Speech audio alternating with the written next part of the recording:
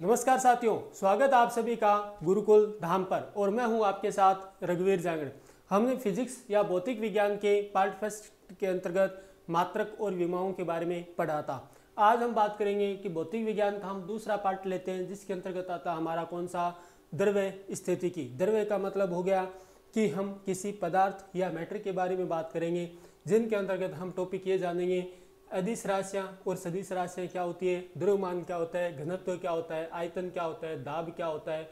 और उत्प्लावकता क्या होती है? जिसको हम बोलते हैं तैरना या उत्प्लावन बल की बात होती है, उसमें हम करेंगे।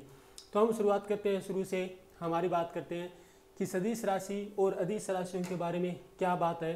तो हम इसमें देखते हैं कि सामान्य विज्ञान में हमें इस प्रकार पूछा जाता है कि कौन सी सदिश राशि है और कौन सी अदिश राशि है। सदिश का मतलब होगा कि जिनके साथ हमें दिशा का ज्ञान होना क्या होता है, ज़रूरी होता है।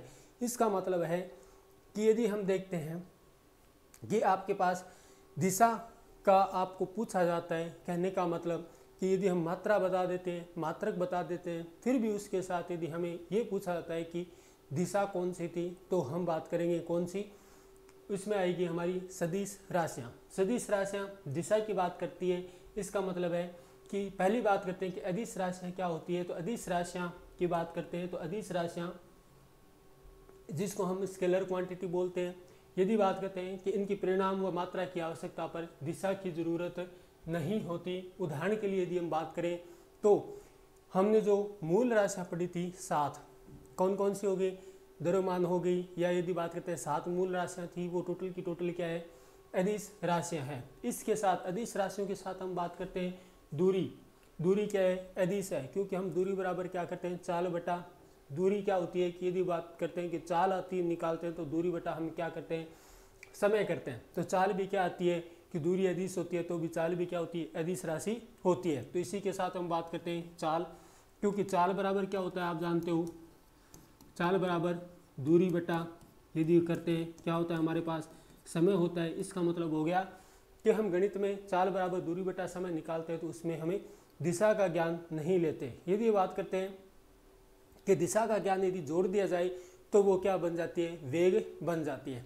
तो हम दिशा के साथ बात करेंगे तो क्या हो जाएगी? वेग बोलते हैं उसको। अब हम बात करते हैं कि ये होता है हमारा घनत्व। है घनत्व को आपने पता है, पीछे भी देखा भी है कि इसको क्या बोलते हैं? डेंसिटी या घनत्व। है आयतन की बात करते हैं तो आयतन हमारा क्या आता है? वी क्यूब के अंतर्गत आता है। वॉल्यूम क्यूब के अंतर्गत आता है? और दाब और प्रेशर की बात करते हैं, दाब की, वो भी क्या है? अदिश राशि है। और यदि बात करते हैं पृष्ठ तनाव की, पृष्ठ तनाव क्या होता है? किसी द्रव्य की सतह के द्वारा अपने को संकुचित करने के लिए लगाया गया आंतरिक अणु बल होता है, वो क्या होता है? हमारा पृष्ठ तनाव होता है। पृष्ठ तनाव के अंतर्गत यदि हम और बात करना चाहें तो इसके अंतर्गत हमारा कौन सा आता है? पृष्ठ तनाव के बाद अधिस राशियों के अंतर्गत विद्युत विभव आता है। कौन सा आता है? विद्युत विभव।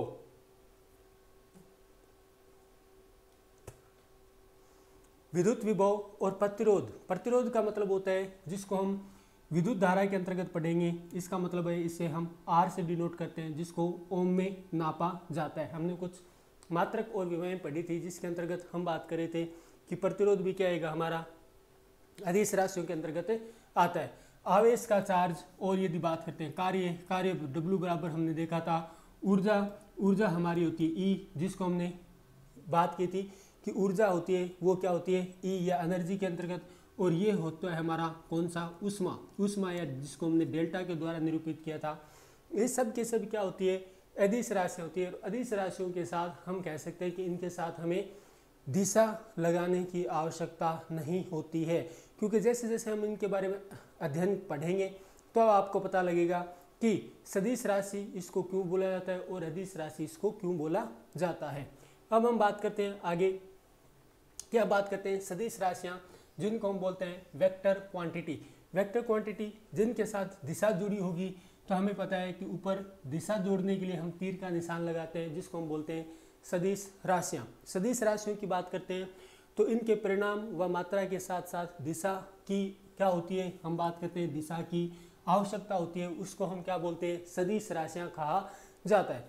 अब यदि बात करते हैं कि सदिश राशियों के अंतर्गत पहली बात आती है विस्थापन, जिसको हम डी से लेते हैं डिस्प्लेसमेंट डिस्प्लेसमेंट का मतलब होता है कि एक को, एक जगह से दूसरी जगह तक यदि आप जाते हो तो इसकी सिद्ध दूरी कहलाती है, वो क्या होती है? विस्थापन होती है। लेकिन यदि हम बात करते हैं कि दूरी की बात करते हैं तो आप कुछ इस प्रकार से जा सकते हो। तो ये टोटल काउंट पथ होगा वो क्या कहलाती है आपकी? दूरी कहलाती है। तो विस्थापन का मतलब हो गया कि हम उसमें दिशा लेंगे या हम कहेंगे कि दूरी की सीधी हम सीधी दूरी की बात करेंगे वो क्या आएगा? विस्थापन के अंतर्गत आता है। विस्थापन के अंतर्गत और दूरी के अंतर्गत हम फ़िलहाल इतनी बात करते हैं। आगे हम पढ़ेंगे इनके साथ विस्थापन की भी बात करेंगे और दूरी की बात भी करेंगे। क्योंकि द्रव्य स्थिति के अंतर्गत हमारा सभी का सभी टॉपिक यही में आ, यही होना है। अब हम बात करते हैं आगे कि जब हम देखते हैं कि वेग की बात करते हैं तो ये भी क्या है? सदिश है। और यदि बात करते हैं तवरण तवरण क्या होता है? ए एसिलेशन और बल, जिसको हम बोलते हैं फोर्स संवेग पी पी की बात करते हैं तो पी क्या होता है? एम गुणा ए मतलब बल गुणा क्या होता है? त्वरण होता है। और आवेग की बात करते हैं तो ये क्या आता है? विद्युत बल के अंतर्गत आता है। चुंबकीय क्षेत्र की तीव्रता की बात करते हैं इंटेंसिटी चुंबकीय क्षेत्र की तीव्रता जिसको हम वेबर में नापते हैं और विद्युत क्षेत्र की तीव्रता को हम इंटेंसिटी के रूप में नापते हैं और गुरुत्व क्षेत्र की तीव्रता को हम जी के अंतर्गत नापते हैं। इनके साथ क्या होता है? दिशा क्या होती है? जुड़ी रहती है। इसका मतलब है कि जी की वैल्यू का मान, यदि उसकी क्या होगी? दिशा होगी। वेग के साथ भी दिशा होगी, त्वरण के साथ भी दिशा होगी और बल के साथ भी दिशा होगी। इसका मतलब है कि हम दिशा पर बात करेंगे, तब हमें क्या, कौन सा लेना है? सदिश राशियों के अंतर्गत लेना है। अब हम बात करते हैं आगे कि ये तो थी सामान्य जानकारी कि सदिश राशियाँ क्या होती है और अदिश राशियाँ क्या होती है। सदिश और अदिश राशियों के साथ यदि हम बात करना चाहें कि अब हमारा स्टार्ट करते हैं कि द्रव्य स्थिति के अंतर्गत हम बात करेंगे। पहला हमारा आता है द्रव्यमान, कि हम द्रव्यमान किसे कहते हैं? द्रव्यमान की बात करते हैं तो इसके अंतर्गत किसी पिंड का द्रव्यमान उसमें धारित द्रव्य जो भी आपके अंदर धारित द्रव्य है, द्रव्य के बारे में हमने पढ़ा था, इसको क्या बोलते हैं? मैटर बोलते हैं। क्या बोलते हैं? मैटर या द्रव्य। या हम कह सकते हैं कि पदार्थ। जो भी उसमें धारित पदार्थ या द्रव्य है, पदार्थ की मात्रा होती है, उसी को हम बोलते हैं द्रव्यमान। द्रव्यमान क्या है एक अदिश राशि है और द्रव्यमान का ऐसा ही मात्रक आपको पता है क्या होता है? किलोग्राम होता है।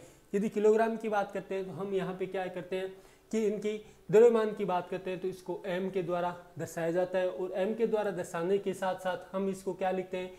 ही मात्रक या हम मूल मात्रकों के अंतर्गत इसको किसमें लेते हैं? किलोग्राम में लेते हैं, जिसे संक्षेप में हम क्या लिखते हैं? के लिखा करते हैं। इसका मतलब है कि मूल मात्रक कौन सा होता है? हमारा द्रव्यमान होता है। ये क्या होती है? एदिश राशि है और साथ ही इसका मात्रक क्या होता है? किलोग्राम होता है। तो सदिश और एदिश का मतलब हो गया कि मेरे हाथ में यदि ये पेन है, इसका मास होगा। मास तो होगा, क्योंकि ये क्या है, पदार्थ या किसी द्रव्य से बना हुआ। लेकिन यदि हम बात करते हैं कि इसको आपको मापने के लिए या बताने के लिए आपको किसकी आवश्यकता नहीं होती, दिशा की आवश्यकता नहीं होती। इसका मतलब मैं लिख सकता हूँ कि जैसे हमने एग्ज़ाम्पल लिया था फाइव के जी फाइव आपका क्या है, परिणाम है, और के जी का मात्र था, ये हमारा क्या है, मात्रक है, जिसपे हम मापते हैं। लेकिन इसके साथ हमें दिशा लगाने की आवश्यकता नहीं पड़ती, इसलिए ये क्या होता है? हम कह सकते हैं द्रव्यमान क्या होता है? एक अदिश राशि है। अगली बात करते हैं कि घनत्व या डेंसिटी घनत्व या डेंसिटी की बात करते हैं तो हम कहेंगे कि घनत्व या डेंसिटी क्या होती है? तो किसी पदार्थ के घनत्व को पदार्थ के प्रति इकाई आयतन, एक मतलब प्रति इकाई आयतन के द्रव्यमान के रूप में परिभाषित किया जाता है तो वो क्या कहलाता है? घनत्व है। पदार्थ का द्रव्यमान, बट्टे, पदार्थ का आयतन। अब आपको पता है, पदार्थ का द्रव्यमान हम किसमें लिखते हैं? बात करते हैं स्मॉल एम में। और पदार्थ का यदि कोई आयतन देखते हैं तो उसको हम क्या लिखते हैं? वी क्यूब आयतन मतलब यहाँ पे आयतन के लिए वी वॉल्यूम शब्द लिए क्यूब का मतलब हो गया कि हम इसको किसमें नापते हैं? लंबाई में नापते हैं। लंबाई में नापने के साथ साथ आयतन को हम क्या करते हैं? हम बात करेंगे तो लंबाई में नापते हैं तो हम लिखेंगे इसको मीटर क्यूब के अंतर्गत नापते हैं। तो यदि बात करते हैं घनत्व का ऐसा ही मात्र क्या हो जाता है तो द्रव्यमान को हम नापते हैं किलोग्राम, और बट्टे में क्या आ जाएगा? घन मीटर। क्यों? क्योंकि यदि बात करते हैं कि आयतन को हम किसमें नापेंगे? लंबाई के दौरान तो वो क्या आ जाएगा? मीटर क्यूब हो जाएगा। इसी को हम क्या बोलते हैं? Metre cube. जिसे संक्षिप्त रूप में हम लिख सकते हैं, किलोग्राम पर मीटर क्यूब में लिखा जाता है। और घनत्व को दर्शाने के लिए हम किसका यूज़ करते हैं? रो का यूज़ करते हैं। रो बराबर क्या हो गया? एम अपॉन वी वी यहाँ पे क्या है? आयतन है। तो इसका मतलब हो गया कि एम अपॉन वी या rho equal to M upon V की बात करते हैं। तो एम आपका क्या होता है? यदि बात करते हैं तो द्रव्यमान होता है और बट्टा वी क्या होता है? आपका आयतन होता है। तो ये द्रव्यमान बटे आयतन। यदि द्रव्यमान को आप देखते हो तो आप एम के द्वारा लिखते हो और आयतन को आप क्या लिखते हो? वी के द्वारा लिखते हो। और यदि बात करते हैं कि द्रव्यमान को आप नापते हो। किलोग्राम में लेकिन आयतन को आप लंबाई के दौरान यदि देखते हो तो आप किसमें नापते हो? मीटर क्यूब में। इसका मतलब ये आपको घनत्व के बारे में संपूर्ण जानकारी के रूप में हम कह सकते हैं कि घनत्व किसे कहते हैं? किसी पदार्थ का घनत्व क्या होता है? यदि हम बात करें कि इकाई आयतन में उपस्थित पदार्थ की मात्रा को हम क्या कहते हैं? पदार्थ की मात्रा को हम क्या कहेंगे? घनत्व कहते हैं। इसी प्रकार से आपसे परिभाषा बन जाती है। अगली बात करते हैं। घनत्व के बाद आपेक्षिक घनत्व। अब ये दूसरा शब्द है, हमने देखा था, घनत्व हो गया, एक हो गया आपेक्षिक घनत्व आपेक्षिक घनत्व का मतलब हो गया कि रिलेटिव किसी के साथ हमें क्या करना है? रिलेशन बैठाना है, या हमें क्या करना है? तुलनात्मक रूप से अध्ययन करना है, वो क्या कहलाता है हमारा? आपेक्षिक घनत्व कहलाता है। किसी पदार्थ का अपेक्षिक घनत्व उस घनत्व उसके घनत्व जो भी आप किसी पदार्थ का अपेक्षिक घनत्व लेना चाहते हो उसका घनत्व उसका घनत्व और जल के घनत्व के, जल के जो घनत्व होगा उसके अनुपात में होता है। यदि जल का घनत्व कितना है, उसके अनुपात में यदि आप उसका क्या करते हो अपेक्षिक घनत्व नापते हो तो वो क्या कहलाता है? अपेक्षिक घनत्व है। पदार्थ का अपेक्षिक घनत्व है, क्या होगा? बराबर पदार्थ का घनत्व है। आपने जिसका क्या लिया अपेक्षित भार लिया है या आपने उसका क्या लिया घनत्व लिया है। बट्टे में क्या होगा? चार डिग्री सेंटीग्रेड पर ताप पर जल का घनत्व है, क्योंकि हम देखते हैं कि चार डिग्री सेंटीग्रेड के ऊपर जल का घनत्व क्या होता है? सर्वाधिक होता है, जो हम रासायन विज्ञान के अंतर्गत भी पढ़ के आए हैं। इसका मतलब है कि चार डिग्री सेंटीग्रेड के ऊपर पानी का जो, हम कह सकते हैं, पानी का जो मोलिकुलर स्ट्रक्चर होता है, उसके अंतर्गत हम कैसे अंतर अवकाश होता है, वो बहुत ही कम मिलता है। इसी वजह से क्या होता है, उसका घनत्व क्या होता है? ज़्यादा होता है। चार डिग्री सेंटीग्रेड पर ताप पर जल का घनत्व सर्वाधिक होता है। आपको ये बात भी ध्यान में रखने क्योंकि यदि हम बात करते हैं तो ज़्यादातर क्वेश्चन सीधा पूछ लिया जाता है। अब हम बात करते हैं कि अपेक्षित घनत्व को दो समान राशियों को अनुपात है। क्यों? क्योंकि दो समान राशि होगी। पदार्थ का घनत्व हो गया, बट्टे में क्या है? चार डिग्री सेंटीग्रेड पर जल का घनत्व है। तो दोनों क्या होगी? दोनों घनत्व बटे क्या हो गया? घनत्व हो गया। इसलिए क्या है? दो समान राशियों का अनुपात है, अतः इसका कोई मात्रक नहीं होता है। क्योंकि यदि बात करते हैं कि पदार्थ का आप अपेक्षित घनत्व ज्ञात करते हो, इसका मतलब हो गया पदार्थ का घनत्व है। मतलब आपने जो पदार्थ लिया है, उसका घनत्व है। प्लस चार डिग्री सेंटीग्रेड के ऊपर पानी का क्या हो गया? घनत्व की बात करता है। इसका मतलब डी से डी कट गया। तो हम कह सकते हैं कि ये राशियों का क्या होता है? अनुपात होता है। इसका कोई मात्रक नहीं होता है।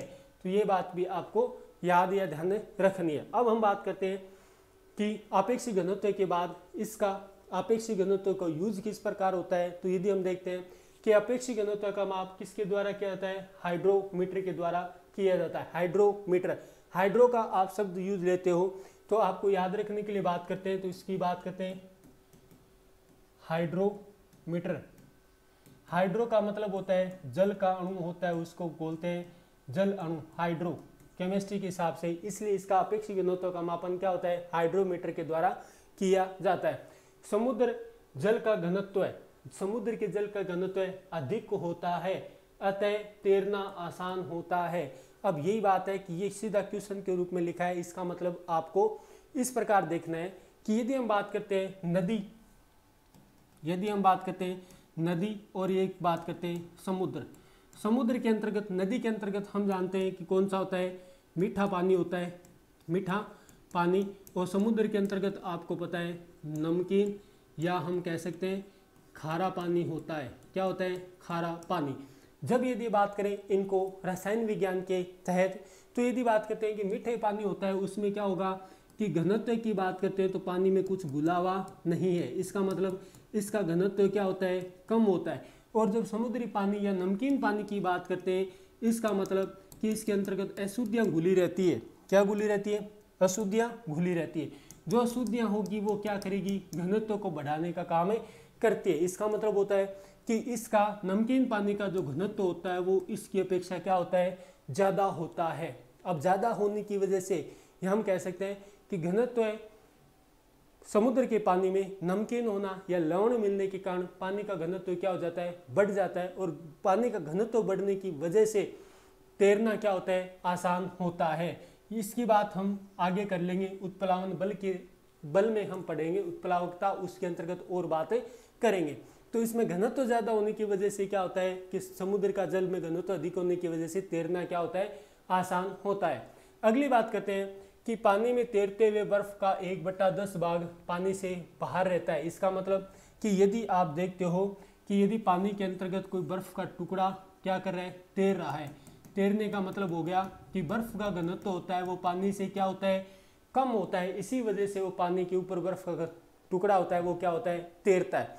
अब यदि आप किसी बर्फ़ को क्यूब के रूप में लेते हो, क्यूब का मतलब हो गया कि आप क्या लेते हो, बर्फ़ का टुकड़ा लेते हो और जिसको यदि आपको क्या करना है? तैराना है। इसका मतलब हो गया कि इसका जो बाहर वाला भाग होगा, ये एक बट्टा दस होगा और जो अंदर डूबा रहेगा वो कितना होगा? इसके बारे में बात करें तो एक बट्टा जो डूबा हुआ रहेगा वो कितना होता है? नौ बट्टे दस भाग होता है। क्योंकि संपूर्ण सौ परसेंट के अंतर्गत बात करते हैं तो दस परसेंट ऊपर तैरता रहता है और नौ, नब्बे परसेंट क्या रहता है? अंदर डूबा हुआ रहता है। क्यों? क्योंकि बात करते हैं कि बर्फ़ का घनत्व, पानी के घनत्व से क्या होता है? कम होता है। अतः हम बात करते हैं कि पानी में बाहर रहता है। जल से भरी एक पात्र में तैरते हुए बर्फ़ को पूर्णतः पिघलाने पर भी, मिलने जाने के बाद भी पानी का तल समान रहता है। अब इसका मतलब है कि यदि ये बर्फ़ का टुकड़ा ऊपर तैर रहा है, इसका एक बटा दस भाग ऊपर है, लेकिन फिर भी यदि इस ये पूरी की पूरी बर्फ़ पिघलेगी तो पानी के आयतन, या हम कह सकते हैं, ये पानी का जो स्तर है, वो ऊपर जाएगा या नीचे जाएगा। तो इसको समझने के लिए बात ये आती है कि जब बर्फ़ क्या होती है, पिघलेगी तो वो क्या बनेगी? पानी बनेगी। तो जितना पानी का, पानी से बर्फ़ का घनत्व है, कम था, उतना भाग पानी से क्या था? ऊपर था। लेकिन जब यदि बात करते हैं कि बर्फ़ का टुकड़ा क्या करेगा? पिघलेगा। पिघलेगा तो वो क्या बनेगा? पानी बनेगा। पानी बनते ही इस जगह पर पूरा का पूरा क्या हो जाएगा? सेट हो जाएगा, या हम कह सकते हैं कि पूर्णतः पिघलने जाने के बाद भी पानी का तल क्या रहता है? जो रहेगा, वही क्या रहता है? समान रहता है। तो इस प्रकार के क्वेश्चन हमसे पूछ लिए जाते हैं कि पानी का तल बढ़ेगा या घटेगा। जैसे मैं क्वेश्चन को रूप में इसको बोलता हूँ कि जल से भरी एक पात्र में कोई बर्फ़ का टुकड़ा तैर रहा है। यदि बर्फ़ का टुकड़ा पूर्णतः रूप से पिघल जाए तो पानी के या पानी के जल स्तर में क्या होगा? ऑप्शन के रूप में हम लिख सकते हैं, पानी का जल स्तर बढ़ेगा, पानी का जल स्तर घटेगा, पानी का जल स्तर उतना ही रहेगा या उपरोक्त में से कोई नहीं। इसका मतलब होता है कि पानी का जल स्तर उतना ही रहेगा।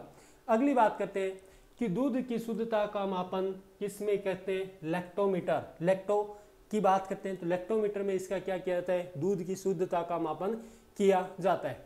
अब यदि बात करते हैं कि दूध में क्या होते हैं कि हम बात करते हैं कोलाइडल कोलाइडल का मतलब हो गया कि उसमें वसा या प्रोटीन, वो क्या होता है? कोलाइडल फॉर्म के रूप में, पानी के रूप में, पानी में क्या होती है? मिली रहती है। इसका मतलब दूध का घनत्व होता है, वो पानी से क्या होता है? ज़्यादा होता है। ज़्यादा होने की वजह से यदि हम देखते हैं कि जितना उसमें ज़्यादा पानी डालोगे, इसका मतलब हो गया कि उसका घनत्व है, दूध के घनत्व में क्या आएगी? कमी आएगी। उसी को मापने के लिए क्या किया जाता है? इलेक्ट्रोमीटर का प्रयोग किया जाता है। लेक्टोमीटर आप जब भी देखते हो, इसका मतलब एक कांच की नली के रूप में मिलता है, जिसके अंदर नीचे कुछ भाग भरा रहता है और यहाँ पे एक मान का पैमाना मिलता है। जो आपको ये बताता है कि यदि इसके बराबर माप आता है, इसका मतलब ये पूरा का पूरा क्या है? पानी है। क्या है? पानी।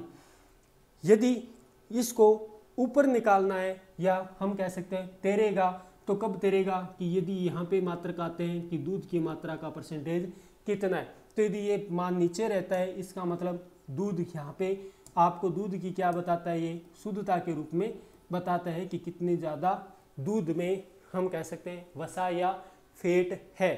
तो ये लेक्टोमीटर के काम में आता है। अब आपको पता है कि दूध में लैक्टोज शर्करा मिलती है। कौन सी शर्करा मिलती है? लैक्टोस लैक्टोज शर्करा के नाम के ऊपर इसका नाम क्या रखा दिया है? लैक्टोमीटर तो आपको इनको मीटर को याद करने के लिए हमें दूध की शुद्धता के लिए बात करते हैं। तो आपको लैक्टोज शर्करा, याद रखनी है लैक्टोज सरकरा से क्या होगा? लैक्टोमीटर मिल जाएगा। आगे हम बात करते हैं कि ये थी हमारे अपेक्षित घनत्व नापने वाले सिद्धांत के ऊपर। हाइड्रोमीटर हो गया। यदि हम बात करते हैं कि दूध की शुद्धता नापने के लिए कौन सा हो गया? लैक्टोमीटर हो गया। अब हम बात करते हैं आगे, जिसके बारे में बात करते हैं हम भार। भार का मतलब क्या होता है? वज़न। वज़न का मतलब क्या होता है? आपको पता है वेट। वेट की बात करते हैं तो इसका मतलब होता है कि ओवर वेट वाली शिकायत होना, या हम कह सकते हैं कि वेट का ज़्यादा बढ़ना, या हम कह सकते हैं हमारे शरीर में वेट की मात्रा बढ़ी है या घटी है। इसका मतलब है कि हमारे शरीर के अंतर्गत द्रव्यमान में क्या हुआ है? परिवर्तन हुआ है। द्रव्यमान में क्या हुआ है? परिवर्तन हुआ है। वजह क्या है कि हम उसी पृथ्वी तल के ऊपर है। यदि हमारे द्रव्यमान में कमी होगी तो हमारा वज़न क्या होगा? घटेगा। और यदि हमारे द्रव्यमान में वृद्धि होगी तो हमारा वज़न क्या होता है? बढ़ता है। इसका मतलब है कि हमारे भार की बात करते हैं तो भार में हम कहेंगे कि एक किलोग्राम द्रव्यमान का भार कितना हो सकता है? 9.8 न्यूटन होता है। ये न्यूटन वाली बात कहाँ से आती है? क्योंकि पृथ्वी हमारी क्या होती है कि हमें, हम में जो द्रव्यमान होता है उसको अपनी ओर आकर्षित करती है। अपनी ओर आकर्षित करने का मतलब होता है कि उसमें गुरुत्वीय तावरण होता है। गुरुत्वीय तावरण की बात करते हैं मतलब कि पृथ्वी को सभी वस्तुओं को अपनी ओर आकर्षित करने की क्षमता होती है, उसको हम क्या बोलते हैं? गुरुत्वीय तावरण कहते हैं। इसका अर्थ है कि पृथ्वी को सतह पर एक किलोग्राम के द्रव्यमान पर कार्यरत बल का मान, जो भी बल का मान जितना बल लगाती है वो कितना नौ पॉइंट आठ न्यूटन होता है। तो यदि हम बात करते हैं कि W W बराबर हम इसको लिखते हैं M गुना जी एम गुना जी का मतलब हो गया कि W को हम लिखते हैं वेट से M गुना जी यदि हम बात करते हैं तो यहाँ पे W तो हमारा क्या हो गया? भार हो गया। और यदि बात करते हैं M, हमारा क्या हो गया? द्रव्यमान हो गया और गुणा जी की वैल्यू का मान करते हैं तो हम कहते हैं ये क्या हो गया? गुरुत्व गुरुत्व तावरण। ये क्या हो गया? गुरुत्व तावरण। जिसका मान की बात करते हैं कि गुरुत्व त्वरण का मान कितना होता है? 9.8 मीटर पर सेकंड। ये क्या होता है? मीटर पर सेकंड का ये क्या लगाती है? बल लगाती है। इसका मतलब द्रव्यमान गुणा गुरुत्व त्वरण का हम क्या करते हैं? मीटर पर सेकंड के हिसाब से गुरुत्व त्वरण है तो मीटर पर सेकंड स्क्वायर के हिसाब से हमें क्या करती है? आकर्षित करती है। तो आकर्षित करने की वजह से द्रव्यमान को हम गुरुत्व त्वरण से गुणा करते हैं तो हमारे पास बल का मात्रक क्या आ जाता है। यदि भार की बात करते हैं तो हम, हमारे पास यदि ये मान एक ले लें तो हमारे पास जी की वैल्यू कितनी आ जाती है? 9.8 और इसका मतलब हो गया कि हमारे ऊपर 9.8 न्यूटन का क्या लगाती है? बल लगाती है। कौन? कौन लगाती है? पृथ्वी लगाती है। यदि हमारे में या किसी पिंड में एक किलोग्राम क्या हो, द्रव्यमान हो।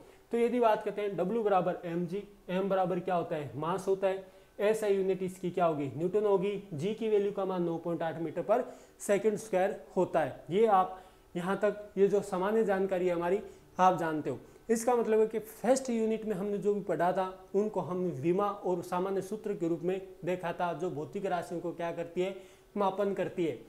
यदि हम बात करते हैं दाब या प्रेशर, दाब क्या होता है या प्रेशर क्या होता है, इसका मतलब है कि दाब या प्रेशर हमारे एग्ज़ाम में जो लगता है, वो दाब या प्रेशर नहीं होता कि हम कहेंगे कि एक महीने बाद एग्ज़ाम है मतलब प्रेशर कम है। बीस दिन बाद में एग्ज़ाम है तो थोड़ा प्रेशर बढ़ा है और यदि बात करते हैं कि हमारे प्रेशर का माप की बात करते हैं तो कोल लेटर आने के बाद ज़्यादा प्रेशर रहता है। और एग्ज़ाम के पहले दिन हमारे ऊपर इतना ज़्यादा प्रेशर रहता है कि हम ये सोचते हैं कि एक साथ ही पूरा का पूरा क्या करें। पढ़ डालें। यह प्रेशर की बात यहाँ पे नहीं हो रही। ये प्रेशर है कौन सा? कि जो भी हम पृथ्वी तल पर रहते हैं तो हमारे जो भी चारों ओर, चाहे वायुमंडल हो और यदि हमने पानी के अंदर हैं तो पानी हमारे चारों ओर होगा तो चाहे पानी का दाब हो, जो हमारे चारों तरफ़ भौतिक रूप से जो उपस्थित होता है, उनका हमारे ऊपर क्या लगता है? दाब लगता है। उसी को हम क्या बोलते हैं? प्रेशर या दाब कहते हैं। अब यदि बात करते हैं कि दाब किसी द्रव्य द्वारा संपर्क सतह के प्रति एकांक क्षेत्र पर पल क्षेत्रफल पर आरोपित अभिलंबित बल को द्रव्य का दाब या द्रव्य स्थितिक दाब कहते हैं। हम यहाँ पे बात करें दाब। दाब किस के द्वारा लगेगा? यदि हम बात करते हैं द्रव्य या पानी की बात करते हैं तो दाब किसी द्रव्य द्वारा संपर्क सतह के प्रति एकांक क्षेत्रफल पर। द्रव्य का मतलब हो सकता है यहाँ पे हमारी कौन सी अवस्था? गैस अवस्था भी मिल सकती है आपको और कौन सी? ये जो लिक्विड अवस्था होती है द्रव्य इसी भी, भी मिल सकती है। कि द्रव्य द्वारा संपर्क सतह के प्रति एकांक क्षेत्र पर आरोपित अभिलंबित बल, अभिलंबत मतलब सीधा का सीधा नीचे की तरफ़ बल द्रव्य का दाब या द्रव्य स्थितिक दाब कहते हैं। विराम द्रव्य द्वारा, यदि बात करते हैं, विराम द्रव्य द्वारा संपर्क में रखी सतह पर आरोपित अभिलंबित बल, उस सतह पर द्रव्य का प्रणोद कहते हैं। अब यदि बात करते हैं कि विराम द्रव्य के द्वारा यदि बात करते हैं तो क्या होगा? जैसे हम बात करें कि दाब को किससे कहेंगे? तो यदि हम क्या करें? ये हमारी क्या है? पृथ्वी है। क्या है? पृथ्वी। इसके ऊपर यदि हम क्या करें कि यदि आपने ये एक पानी है, पानी के अंतर्गत आप कोई, आपकी स्थिति क्या हो सकती है कि पानी के अंतर्गत हम यदि हम बात करते हैं, इसका मतलब है पानी भी हो सकता है और आप पृथ्वी के तल के ऊपर उस प्रकार से भी रह सकते हो, जिस प्रकार यदि हम बात करते हैं। यदि आप इस जगह पर उपस्थित हो, इसका मतलब हो गया कि आप यहाँ पे हो, इसके अंतर्गत किसमें पानी में? और यदि आप इस जगह के ऊपर हो, इसका मतलब हो गया कि आप वायुमंडल के संपर्क में हो। तो यदि हम बात करें कि यहाँ पे यहाँ पे आपको स्ट्रक्चर के रूप में दो तरीका है। यदि आप क्या हो, पानी के अंदर हो तो भी पानी क्या करेगा? द्रव्य होगा, वो आपके ऊपर दाब डालेगा। दाब डालने का रीजन क्या है? कि पानी खुद क्या है? एक पदार्थ है। पदार्थ को क्या करिए? जी या हम कह सकते हैं कि पृथ्वी होती है, वो अपनी ओर आकर्षित करती है। इसी वजह से उसमें क्या हो जाता है? भार हो जाता है और हमारे ऊपर क्या पड़ता है? दाब पड़ता है। इसी प्रकार हम देखते हैं कि पृथ्वी के चारों ओर हमारे क्या है? वायुमंडल है। क्या है? वायुमंडल। वायुमंडल का मतलब हो गया कि वायु में भी क्या होता है? हम जानते हैं कि भार होता है। भार होने का मतलब है कि वायुमंडल के कणों को भी क्या करती है? पृथ्वी अपनी ओर आकर्षित करती है। तो पृथ्वी अपनी ओर आकर्षित करने का मतलब हो गया कि हवा होती है, वो हमारे के ऊपर क्या करती है? दबाव बनाती है या प्रेशर बनाती है। तो ये हमारा कौन सा हो गया?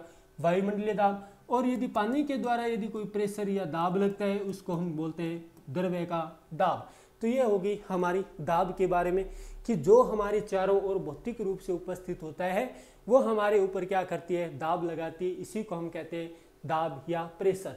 जब यदि बात करते हैं, ये ट्रस्ट वाली बात कहाँ से आती है? तो विराम द्रव्य। द्वारा संपर्क में रखी सतह पर आरोपित अभिलंबित बल की सतह पर द्रव्य का प्रणोद कहलाती है। इसका मतलब है कि यदि आपने कोई सतह के ऊपर आपने क्या कर रखा है? द्रव्य डाल रखा है। द्रव्य का मतलब हो गया कि आपने यहाँ पे क्या पड़ा है? पानी पड़ा है। क्या पड़ा है? द्रव्य के रूप में हमने क्या लिया है? पानी लिया है। जब यदि बात करते हैं कि ये पानी की स्थिति में किस प्रकार परिवर्तन हो सकता है कि विराम द्रव्य, ये कहीं बह नहीं रहा है संपर्क में रखी सतह पर आरोपित ये बल होगा। ये किधर की तरफ़ दाब डाल देगा? इस सतह के नीचे की तरफ़, या हम कह सकते हैं अभिलंबत या लॉन्गिट्यूडनल बल सतह पर द्रव्य का क्या कहलाता है? जो लंबवत बल डालता है, उसे हम क्या कहते हैं? जो लंबवत बल होगा, उसी को हम कहते हैं, क्या कहते हैं? प्रणोद। क्या कहेंगे? प्रणोद शब्द। और प्रणोद ही क्या होता है? हम कह सकते हैं दाब होता है।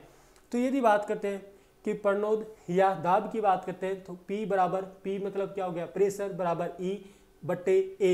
ई e बट्टे ए का मतलब हो गया कि E बट्टे ए का मतलब हो गया कि हम बात करें कि दाब P बराबर E अपॉन ए। ए का मतलब हो गया यहाँ पे क्षेत्रफल। क्या हो गया? क्षेत्रफल। और ई का मतलब हो गया कि किसी द्रव्य के सतह के एकांक क्षेत्रफल पर एकांक क्षेत्रफल आरोपित अविलंब बल। यहाँ पे जो आरोपित हो गया, कौन सा? आरोपित बल हो गया नीचे की तरफ़। जो कहाँ लगता है? नीचे की तरफ़ लगता है। वही क्या कहलाता है? हमारा दाब कहलाता है। तो क्षेत्र आरोपित बल बटा क्षेत्रफल होगा, वही हमारा क्या होगा? दाब होता है। अब हम बात करते हैं कि दाब के बारे में, कि दाब की इकाई किस रूप में नापेंगे? तो दाब की इकाई के रूप में जब हम देखते हैं, दाब की इकाई शायद आपको डार्क कलर होने की वजह से दाब की इकाई आपको दिखाई नहीं दे रहा है। अब की बार संशोधन कर देंगे डार्क कलर यूज़ नहीं ले।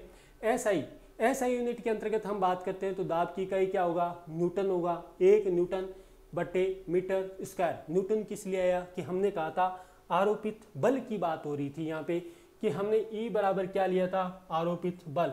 और बल का मात्र क्या होता है आपको पता है? न्यूटन होता है। इसका मतलब कि ऐसा यूनिट एक न्यूटन बट्टा मीटर स्क्वायर हो गया। इसका मतलब हो गया कि यदि हम दाब की बात करते हैं पी बराबर ई अपोन हमने ए लिखा था तो ई को हमने कहा था प्रति इकाई क्षेत्रफल आरोपित बल। बल का मात्रक हो गया न्यूटन और क्षेत्रफल क्या होता है? आपको पता है, मीटर स्क्वायर होता है। इसका मतलब है कि एक न्यूटन बट्टा मीटर स्क्वायर को हम क्या बोलते हैं? एक न्यूटन बटा मीटर स्क्वायर को हम बोलते हैं पास्कल। और इसको लिखते कैसे? पी ए से लिखा जाता है। तो ऐसा यूनिट के अंतर्गत हम बात करते हैं तो दाब की इकाई क्या हो जाएगी? न्यूटन पर मीटर स्क्वायर। न्यूटन पर मीटर स्क्वायर को हम बोलते हैं एक पास्कल, और एक पास्कल को हम लिखते हैं एक न्यूटन पर मीटर स्क्वायर के रूप में। तो ये आपका हो गया पास्कल और न्यूटन मीटर के अंतर्गत की बात करते हैं तो तो हम कहेंगे दाब की इकाई क्या होती है? पास्कल, जिसको पी ए से लिखा जाता है। अब बात करते हैं कि सीजीएस में। सीजीएस प्रणाली ऐसी प्रणाली आपको पता है। कि जिसके अंतर्गत हम किसमें नाप रहे हैं? न्यूटन पर मीटर स्क्वायर में नाप रहे हैं। सी की बात करते हैं तो हम क्या करते हैं? सी के अंतर्गत न्यूटन जो बल था, वो किसमें था? डाइन में था, क्योंकि बल को किसमें नापते हैं? डाइन में नापते हैं। बट्टा क्या हो गया? सीजीएस प्रणाली है तो सेंटीमीटर स्क्वायर हो जाएगा, और इसी को हम डाइन पर सेंटीमीटर स्क्वायर के रूप में जानते हैं, यदि हम जान, किसमें सीजीएस पद्धति में दाब की इकाई लेते हैं तो ज़्यादातर क्या होता है कि ऐसा यूनिट में ही पूछा जाता है। सीजीएस में भी आपको पूछ लिया जाए तो सीजीएस के अंतर्गत बल का मात्रक क्या होता है? डाइन होता है और डाइन पर सेंटीमीटर स्क्वायर क्या हो जाती है? आपकी सीजीएस प्रणाली के अंतर्गत दाब की इकाई हो जाती है। इसके अंतर्गत यदि हम कुछ एक मान देखते हैं कि इनको बदला किस प्रकार से जा सकता है कि पास्कल के रूप में किलो लग गया, मेगा लग गया या गीगा लग गया? इस प्रकार क्या होता है कि 10 की पावर तीन होता है, उसको हम बोलते हैं किलो। 10 की पावर तीन गुणा न्यूटन पर मीटर स्क्वायर इक्वल टू कितना हो गया? एक किलो। किलो का मतलब है यहाँ पे 10 की पावर कितनी है? तीन है। पास्कल। क्योंकि हमने एक न्यूटन पर मीटर स्क्वायर को क्या बोला था? एक पास्कल बोला था। यदि 10 की पावर तीन आपने यूज़ ले ली तो यहाँ पे क्या लग गया? Kilo pascal. 10 की पावर छः गुणा न्यूटन पर मीटर स्क्वायर 10 की पावर छः को क्या बोला जाता है? मेगा बोला जाता है। मेगा को हम किस प्रकार लिख सकते हैं? M mega pascal. क्या बोल सकते हैं? मेगा पास्कल और यदि 10 की पावर नौ है तो इसको बोलते हैं गीगा। गीगा शब्द होता है, उसमें आते हैं दस की पावर नौ प्लस की। इसलिए न्यूटन पर मीटर स्क्वायर को गुणा करते हैं तो हम इसको लिखते हैं गीगा पास्कल तो किलो, मेगा, गीगा। ये शब्द आते हैं, टेरा। ये शब्द आते हैं, सब के सब क्या होते हैं? दस की पावर गुणा में आते हैं, और इनको जो पावर प्लस में होती है, इनको बड़े अक्षरों से लिखा जाता है। और जो पावर माइनस में होते हैं, उनको किस प्रकार लिखा जाता है? छोटे अक्षरों में लिखा जाता है, जिनकी चर्चा हम रसायन विज्ञान के अंतर्गत कर चुके हैं। अब हम बात करते हैं आगे कि यदि 10 की पावर पाँच न्यूटन पर मीटर स्क्वायर को एक बार एक बार या एक एटीएम कहा जाता है।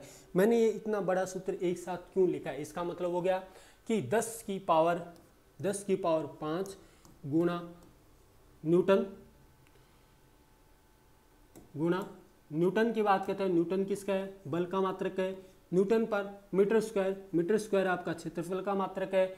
बराबर मैंने लिखा एक बार। एक बार का मतलब हो गया वायुमंडलीय दाब। और एक बार बराबर क्या होता है? आपका एक A T M A T M को बोलते हैं एटमोसफियर क्या बोलते हैं? एटमोफियर एटमोसफियर एटमोसफियर क्या होता है? एटमोसफियर प्रेशर जो एटमोसफियर वायुमंडलीय दाब होता है, उसको किसमें नापा जाता है? एक एटीएम के रूप में नापा जाता है। तो इसका मान कितना होता है? दस की पावर पाँच गुना न्यूटन पर मीटर स्क्वायर होता है। उसी को हम बोलते हैं एक बार या एक एटीएम के रूप में नापा जाता है। तो ये आपको दस की पावर पाँच वाला है। ये आपकी इसमें आएगा, बार में आएगा। और इसी को आपको याद रखना है, क्योंकि यही रिलेशन हमसे क्या होता है? बार बार क्या होता है? एग्ज़ाम के अंतर्गत पूछा जाता है। अगली बात करते हैं, दाब न्यूटन पर मीटर स्क्वायर। यदि दस की पावर पाँच गुना हो गया, इसका मतलब कितना हो गया? एक बार हो गया, और इसी को हम बोलते हैं एक एटीएम अगली बात करते हैं दोस्तों। किसी बिंदु पर दाब सभी दिशाओं में क्रियाशील होता है। मतलब किसी भी बिंदु में, यदि ये बात करते हैं, किसी बिंदु पर दाब सभी दिशाओं में क्रियाशील होता है, एवं दाब से कोई निश्चित दिशा संबंध नहीं होती, अतः यह क्या होती है? एक अदिश राशि होती है। अदिश राशि होने का मतलब है कि इसके साथ दिशा का कोई योग नहीं होता। जिस प्रकार हम देखते हैं कि आपने एक टंकी भर रखी है किसकी? पानी की। पानी के अंतर्गत आप देखते हो कि पानी के अंदर आपने क्या किया?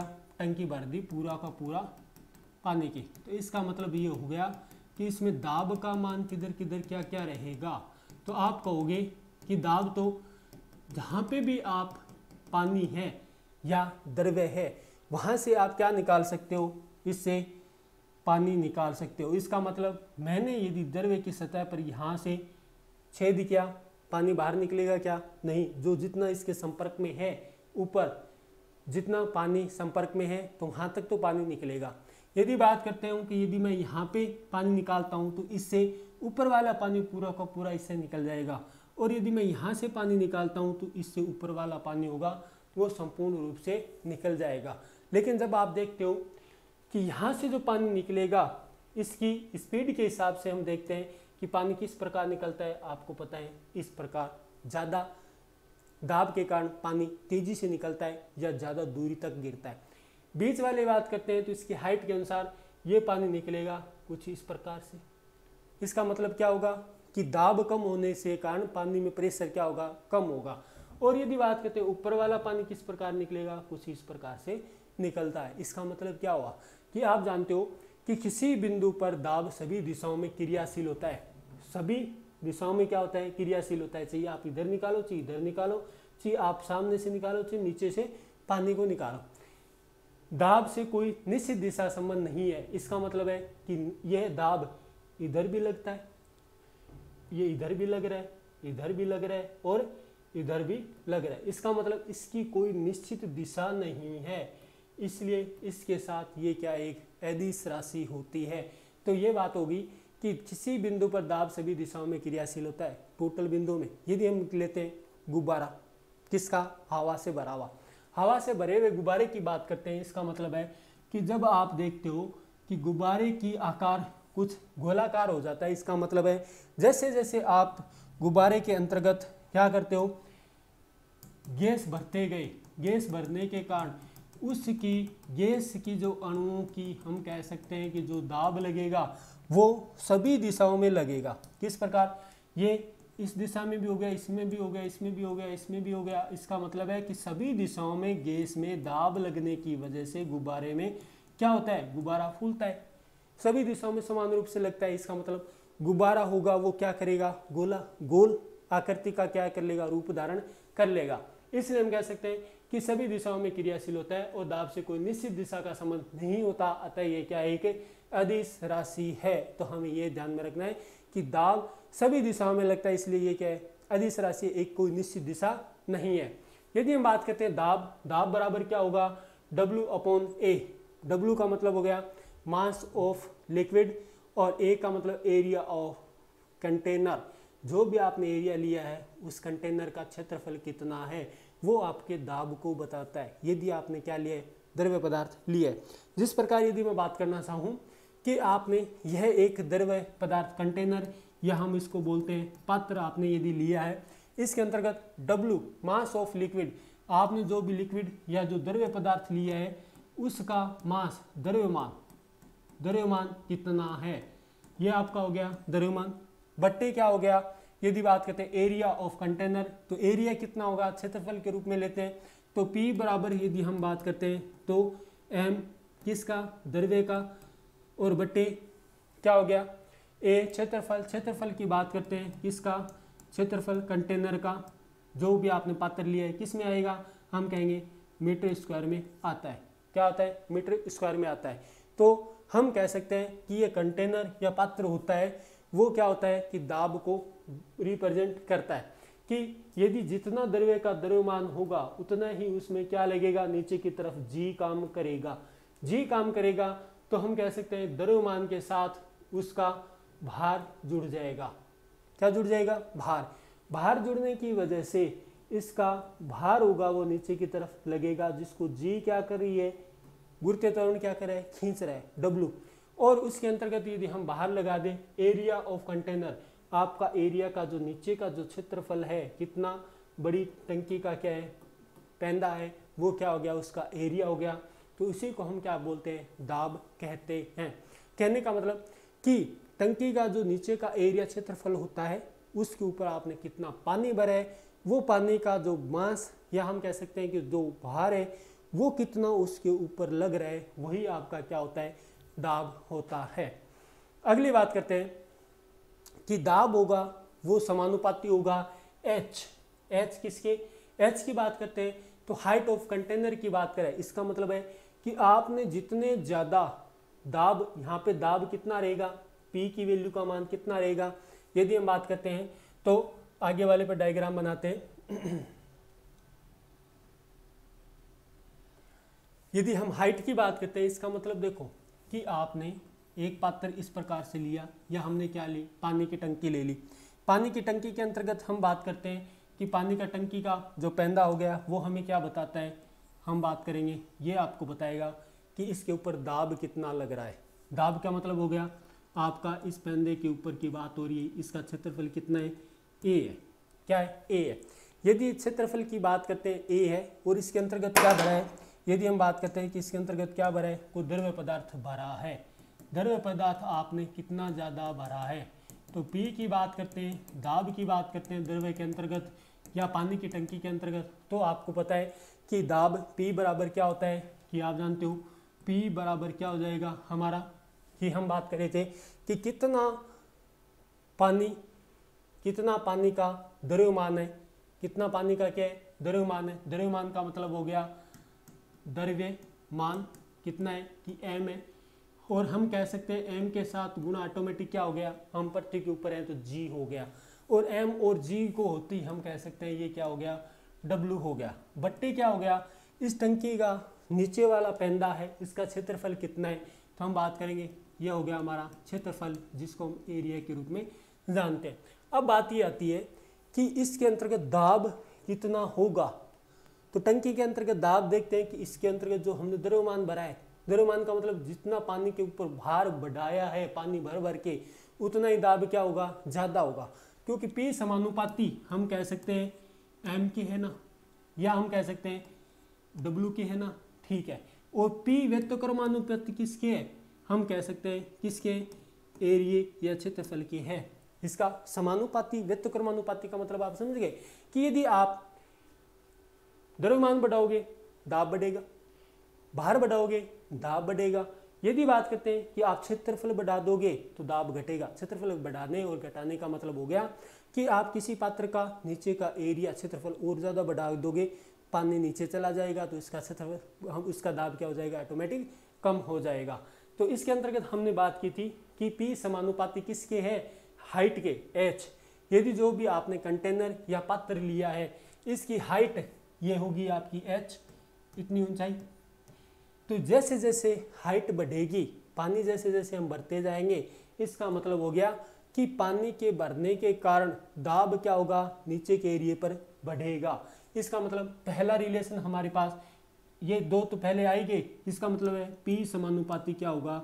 एच होगा। हाइट ऑफ़ कंटेनर के होगा। अब अगला रिलेशन हमारे पास मिलता है पी समानुपाती घनत्व है। घनत्व क्या होता है? इकाई आयतन में उपस्थित पदार्थ, या हम कह सकते हैं द्रव्य की मात्रा। द्रव्य की मात्रा कौन सी होगी? कि यदि हम इस पानी है, पानी के अंतर्गत वापस हम क्या करते हैं? हमने मीठा पानी भरा है लेकिन इसके अंतर्गत हम बहुत ज़्यादा क्या कर सकते हैं? नमक या चीनी, या आपने जैसे भी सुद्रव्य को क्या कर दिया? गाढ़ा कर दिया। गाढ़ा करने का मतलब हो गया कि आपने इकाई आयतन के अंतर्गत द्रव्यमान और ज़्यादा मिला दिया। मिलाने की वजह से क्या होगा? इसका भार बढ़ जाएगा। या हम कह सकते हैं इसका घनत्व होता है, वो क्या होता है? बढ़ जाता है। तो घनत्व बढ़ेगा, इसका मतलब क्या होगा? कि घनत्व बढ़ने के साथ साथ दाब का मान भी क्या होता है? बढ़ता है, जिसको हम बोलते हैं घनत्व डी या डी को हम किससे निरूपित करते हैं? रो से करते हैं। किससे करते हैं? रो जिसको हम बोलते हैं घनत्व है। अब बात ये आती है कि P समानुपाती क्या होगा? रो गुणा जी रो गुणा जी का मतलब यहाँ पे आ गया कि जैसे जैसे घनत्व बढ़ेगा वैसे वैसे हम बात करते हैं द्रव्यमान का द्रव्यमान का मान जैसे जैसे बढ़ेगा जी का मान भी क्या होता है? द्रव्यमान के गुणनफल में होता है। तो हम कह सकते हैं कि जैसे पी का मान के साथ समानुपाती क्या हो जाएगा? रो गुणा जी हो जाएगा। रो गुणा जी का मतलब ये हमारे पास आ गया गुरुत्व तावरण गुरुत्व तावरण गुरुत्व तावरण जैसे जैसे हम बात करते हैं तो गुरुत्व तावरण के साथ बात करते हैं रो गुणा जी तो इसको हम लिख सकते हैं किसके समानुपाती? भार के समानुपाती। तो दाब बढ़ेगा किसके साथ? यदि घनत्व बढ़ता है और जी के साथ आता है तो ये समानुपाती किसके हो जाता है? भार के समानुपाती हो जाता है। अब बात ये आती है कि P की वैल्यू का मान, दाब का मान पृथ्वी की ऊंचाई के साथ व्यक्त कर्मानुपाती है। पृथ्वी पर जैसे जैसे ऊंचाई बढ़ेगी तो दाब का मान घटेगा। यह बात किस पे ऊपर लागू होगी कि यदि आपके पास क्या है? हवा है। हवा का मतलब हो गया कि जैसे जैसे हम देखते हैं कि पृथ्वी की सतह के ऊपर हवा का घनत्व ज़्यादा मिलता है। घनत्व का मतलब हो गया कि पृथ्वी क्या करती है? अपनी तरफ़ सभी चीज़ों को आकर्षित करती है। मतलब वो हवा को भी क्या करती है? आकर्षित करती है गुरुत्वीय बल के द्वारा। तो जितना आकर्षण बल ज़्यादा होगा तो हम कह सकते हैं कि पृथ्वी की सतह के ऊपर वायु का घनत्व ज़्यादा मिलता है। जैसे जैसे हम ऊपर की तरफ़ जाते हैं, पृथ्वी की सतह से तो वायु के घनत्व में क्या आती है? कमी आती है। कमी आने की वजह से हम देखते हैं कि वायु का दाब होता है, वो पृथ्वी सतह पर क्या होता है? सर्वाधिक होता है और ऊंचाई के साथ साथ वायु का दाब क्या हो जाता है? घटने लगता है। तो हम कहेंगे कि दाब का मान पृथ्वी की सतह या पृथ्वी की ऊंचाई के साथ साथ क्या होता है? घटता है। आगे हम देखते हैं, इन रिलेशन के अलावा कि पृथ्वी की सतह पर वायुमंडलीय दाब क्या होता है? अधिकतम होता है। इसका मतलब है कि वायुमंडलीय दाब क्या होता है? अधिकतम होता है और ऊंचाई के साथ साथ वायुमंडलीय दाब क्या हो जाता है? घट जाता है। इसका मतलब वायुमंडलीय दाब की बात करते हैं। पी व्यक्त कर्मानुपाती क्या होगा? पृथ्वी से पृथ्वी से ऊंचाई। पृथ्वी से जैसे जैसे ऊंचाई बढ़ेगी वैसे वैसे क्या होगा? दाब का मान कम होगा। तो ये क्या होगा? पृथ्वी पर वायुमंडलीय दाब अधिकतम होता है, ऊंचाई के साथ साथ वायुमंडलीय दाब क्या होता है? घटता है। इसीलिए जब हम देखते हैं कि जल की वाष्प बनने के बाद हल्की होती है, हल्की होती है तो कहाँ चली जाती है? ऊपर चली जाती है। ऊपर जाने के बाद वायुमंडलीय दाब क्या हो जाता है? कम हो जाता है तो वो जल्दी क्या हो जाती है? ठंडी हो जाती है। ठंडी होने के बाद जल वाष्प होती है, वो क्या हो जाती है? पानी के रूप में नीचे की ओर गिरती है। इसी कारण से क्या होते हैं? बादल बनते हैं। अब बात यह आती है कि बादल हवा में क्यों तैरते हैं? तो हम कहते हैं कि उनका घनत्व क्या होता है? कम होता है। कम होने की वजह से उसका घनत्व कम होने की वजह से वो क्या रहेगी? हवा में ऊपर की तरफ़ रहते हैं। अब हम बात करते हैं कि पृथ्वी की सतह पर वायुमंडलीय दाब कितना होता है? तो हम कहेंगे एक पॉइंट ज़ीरो एक तीन गुणा दस की पावर पाँच न्यूटन पर मीटर स्क्वायर, या हम कहते हैं इसको पास्कल के अंतर्गत नापा जाता है। इसका मतलब है कि न्यूटन पर मीटर स्क्वायर के अंतर्गत इसका मान कितना हो गया? कि इसका मान हो गया एक पॉइंट ज़ीरो एक तीन गुणा दस की पावर पाँच न्यूटन पर मीटर स्क्वायर बराबर कितना होता है? एक पास्कल के बराबर। हम कह सकते हैं जो पास्कल का मान होगा उसके बराबर होता है। तो ये हमारा हो गया न्यूटन पर मीटर स्क्वायर बराबर पास्कल के रूप में मिलता है। यदि हम बात करते हैं कि एक एटीएम हम बार बार देखते हैं कि एक एटीएम या एक एटमोस्फियर प्रेशर या एक वायुमंडलीय दाब कितना होता है? तो एक वायुमंडलीय दाब के अंतर्गत हम लेते हैं कि एक एटमी एक एटीएम एटमोस्फियर प्रेशर 1.01 1.013 नहीं लिया यहाँ पे गुणा दस की पावर पाँच क्या होता है? पास्कल। या 0.01 क्या होता है? बार होता है। बार भी क्या होता है? मात्रक होता है। या हम इसको लिख सकते हैं 760 टोर टोर में भी वायुमंडलीय दाब को नापा जाता है और इसको 760 एम एम एच जी पारे स्तंभ के रूप में लेते हैं। तो वो कितना होता है? 760 एम एम एच जी और यही क्या होता है हमारा समुद्र तल पर क्या होता है? दाब होता है। अब बात यह आती है कि भौतिक विज्ञान के अंतर्गत या हम कह सकते हैं कि फिजिक्स में हम कहते हैं कि एक एटीएम दाब कितना होता है? तो उसको ये बोला जाता है कि समुद्र तल पर क्या नापा गया है? 760 एम एम एच जी पारे के स्तंभ को 760 एम एम एच जी पारे के स्तंभ को एक वायुमंडलीय दाब कहा जाता है। ये आपको किसमें परिभाषा मिलेगी? यदि हम बात करते हैं तो हम पढ़ते हैं किसमें? जिसको हम भूगोल विज्ञान के अंतर्गत पढ़ते हैं भूगोल में, तब हमें ये परिभाषा मिलती है कि समुद्र तल पर 760 एम एम एच जी पारे को, के स्तंभ को हम एक एटीएम कहते हैं। लेकिन हम एक एटीएम की बात करते हैं तो 760 टोर होता है। वो क्या होता है? टोर का मात्रक एम पारे के स्तंभ को नापने के लिए टोर का यूज़ किया जाता है। तो 760 एम एम एच क्या होता है? 760 टोर होता है, जिसका मान 1.01 क्या होता है? बार होता है। और बार को यदि बात करते हैं तो इसको पास्कल में नापते हैं तो 1.01 गुना दस की पावर पाँच क्या होता है? पास्कल होता है, जो हमने पीछे भी देख के आए और इसी को हम क्या कहते हैं? एक वायुमंडलीय दाब या एक एटीएम कहा जाता है। तो यहाँ पे ये रिलेशन भी आपको याद रखना है।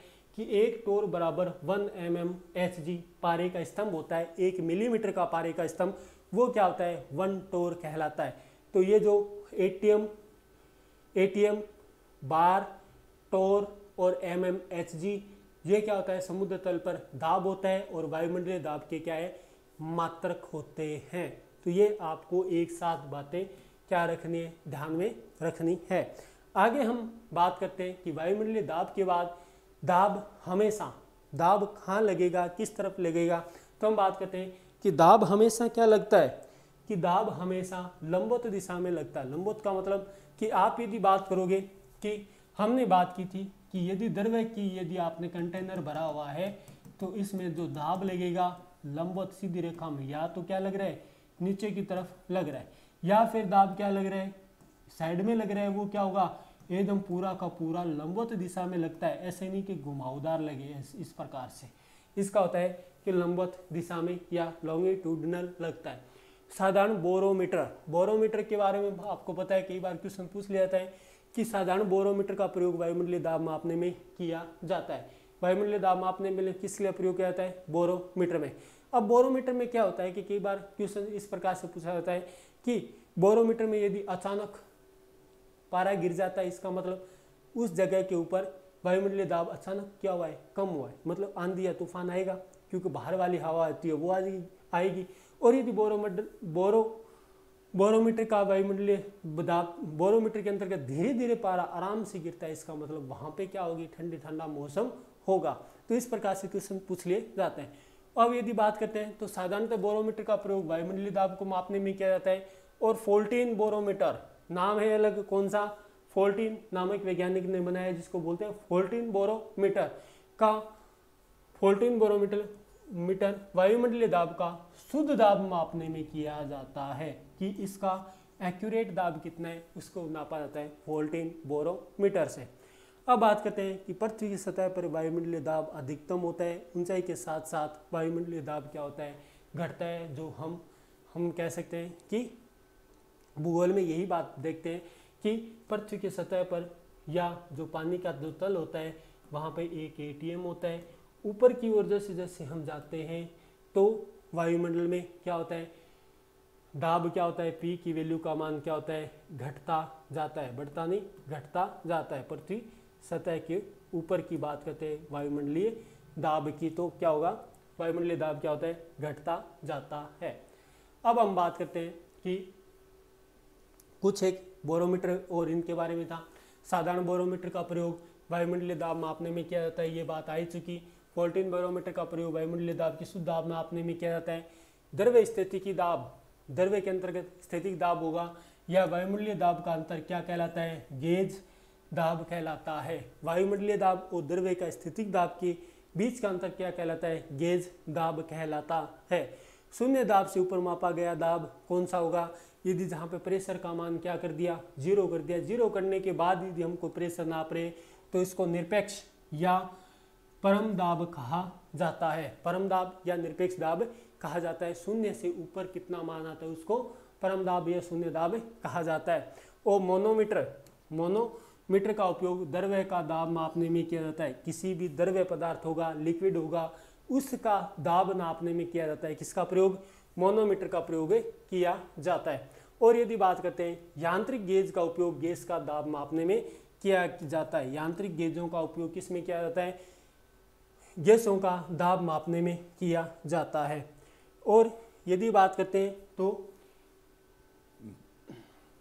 किसी द्रव में समान तल पर उपस्थित सभी बिंदुओं पर दाब समान होगा। यदि ऐसा न हो तो दाब के अंतर के कारण द्रव्य क्या होगा? बहेगा। इस बात हम इस प्रकार समझते हैं। कि यदि कोई किसी द्रव्य में समान तल पर यदि हमने यह एक कोई तल लिया है, तल की बात करते हैं तो इस तल के ऊपर यदि आपका क्या पड़े है? ये आपका हो गया तल। समान तल पर उपस्थित सभी बिंदुओं पर दाब क्या होगा? समान होगा। यदि हम यहाँ पे कोई क्या लेते हैं? द्रव्य पदार्थ लेते हैं मतलब यहाँ पे हमारा द्रव्य क्या हो, बिखरा पड़ा है। तो यहाँ पे बात कर रहा है कि किसी द्रव्य में समान तल पर, एक ही तल पर उपस्थित सभी बिंदुओं पर क्या होगा? यदि बात करते हैं तो यहाँ पे प्रत्येक बिंदु पर दाब क्या होगा? समान होगा। यदि ऐसा नहीं है तो दाब के अंतर के कारण द्रव्य क्या होगा? बहेगा। इसका मतलब यदि यहाँ पे ये बिंदु ऊपर की तरफ़ आ गए और इनके ऊपर दाब अलग है, इनके ऊपर दाब अलग है तो ये क्या होगा? इधर की तरफ़ बहेगा। इसका मतलब इस अणु में और इस अणु में दाब में क्या है? अंतर है। तो दाब के अंतर के कारण क्या होता है? कोई भी द्रव्य पदार्थ होता है, वो क्या होता है? बहता है। जिस प्रकार आप देखते हो कि किसी भी सतह के ऊपर आप पानी को क्या कर देते हो? उढ़ेल देते हो। इसका मतलब कि जो पानी होता है वो पूरी की पूरी सतह के ऊपर समान रूप से वितरित हो जाता है। जब तक वो समान रूप से वितरित नहीं होता, तब तक पानी क्या रहता है?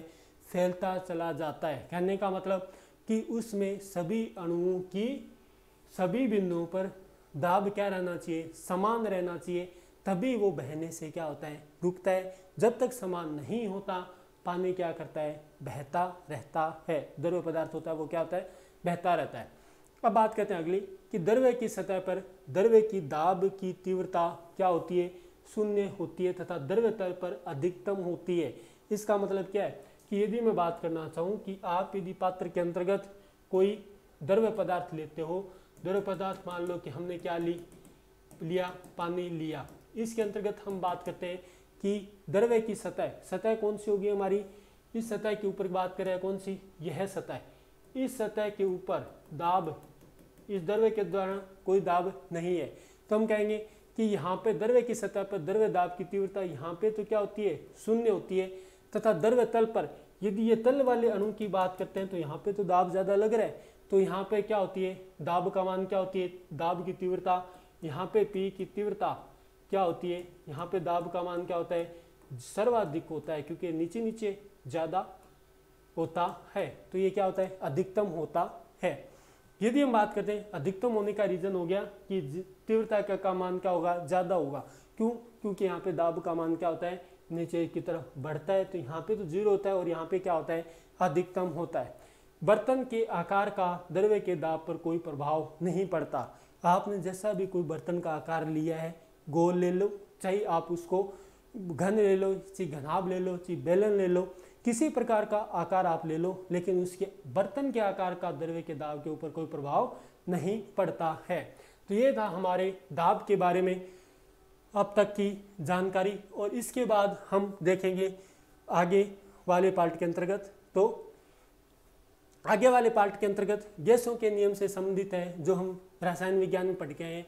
कि डाल्टन का नियम कहता है कि आपस में क्रिया नहीं करने वाली गैसें, क्या आंशिक दाब का योग उनके कुल दाब के क्या होता है? बराबर होता है, बराबर P total equal to P one P two P three plus P N तक होता है। इसका मतलब है कि यदि आपने किसी भी पात्र के अंतर्गत या गुब्बारे के अंतर्गत आपस में क्रिया नहीं करने वाले गैसों को क्या कर दिया है?